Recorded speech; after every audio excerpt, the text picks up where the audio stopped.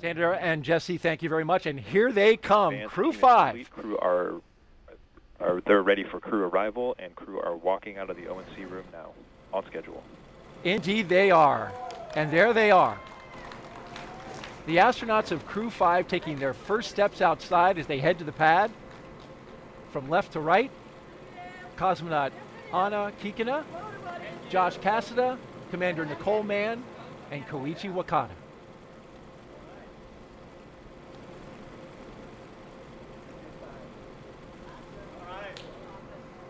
So that was a pose for a picture. And here they go to their ride out to the pad. Three Teslas all lined up in queue, along with a full security escort. And the folks you see there, family, loved ones. This is a moment to have an exchange, Bob. It is. It's an opportunity for the crew, if you will, to take a little bit of a break from the technical briefs that they've been having this morning as they got suited up and understood what the weather conditions were. They get a chance to say goodbye to their families, uh, see some smiling faces. Again, have a little bit of a relaxing moment with their families before they get serious again and head out to the launch pad. And they keep a certain distance away. You can see the stanchions, you can see the family that are gathered there. And of course, that's in the interest of the astronauts' health. That's absolutely true, Daryl. You know, the crew has been in a quarantine state for uh, the last several days. You know, they don't want to bring anything to space station that uh, we don't have, you know, really tight control of. And so they'll stay back from folks, but uh, they'll give some air hugs and some waves. All right, let's listen in.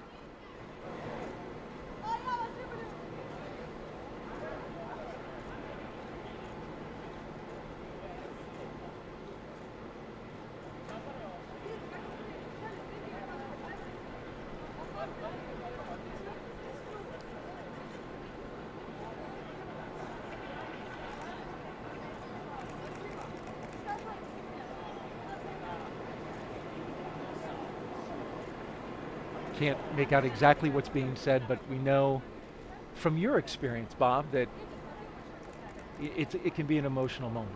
Uh, absolutely. You know, for the Demo 2 mission, my son was super excited to yell Launch America. So that was the one thing that you could absolutely hear. Even inside the, the suit with our deep insert earplugs, you could hear that Launch America tune when he uh, sang it out. Your wife said the same thing that uh, you could hear him shouting out, and and that's something actually particular to astronauts with young family members, with young children, that you have to prepare them for. I was watching a documentary. Um, your son wasn't exactly on board at the beginning.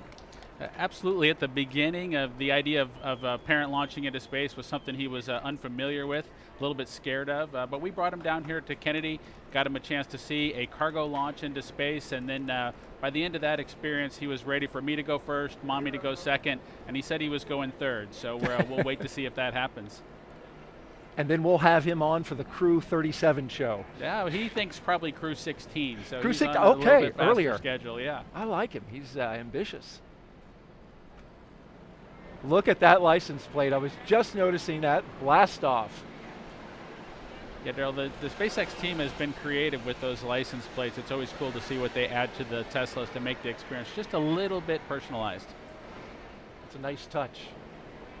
As you can see, the media in the background positioning themselves for a good shot as the Teslas roll out with a full security escort on a 20 minute drive to pad 39A. And they're queuing up a playlist right now, Bob, uh, with some tunes. In fact, I've got the playlist to one of the vehicles. I believe it's the lead astronaut vehicle, which would be the second one in this line. Here's what they're going to be listening to Oh Yeah by Yello, Danger Zone by Kenny Loggins, Stronger by The Score, Slow Ride, Foghat, Everybody Got Their Something by Nikka Costa, Sabotage by the Beastie Boys, Mainstream Kid by Brandi Carlile, and Don't Stop Believin' by Journey. It's a nice list right there. It's a wonderful mix. There's a little bit of a slow and react, relaxing portion of it, as well as something with a, a little bit of emotion as they head out to the launch pad. You know, when Doug and I headed out to the launch pad, we had some uh, tunes as well, and uh, we took the experience to capture kind of the same things. The excitements of uh, launching into space. Back in Black was one of the songs we selected from AC/DC since we were both headed back into into space again, and uh, it was it was an exciting time for us. And that was followed, I believe, by a girl from Ipanema, which It- was a very much a contrast. In It, it was, Daryl. You know, this is a 20 minute ride out to the launch pad. The crew's been on a very tight schedule as they uh, work their way to get to this point, but now's the time to sit back and uh, wind your watch and, and wait for the actual launch event. So that, that waiting music came from the Blues Bros- Brothers movie, and, and Doug and I knew there was just going to be a time where we had to wait our turn to launch on that rocket. Windows are open now in the Teslas, and family members just now retreating back from the vehicles, but then also getting another moment up there next to the car, which just completed.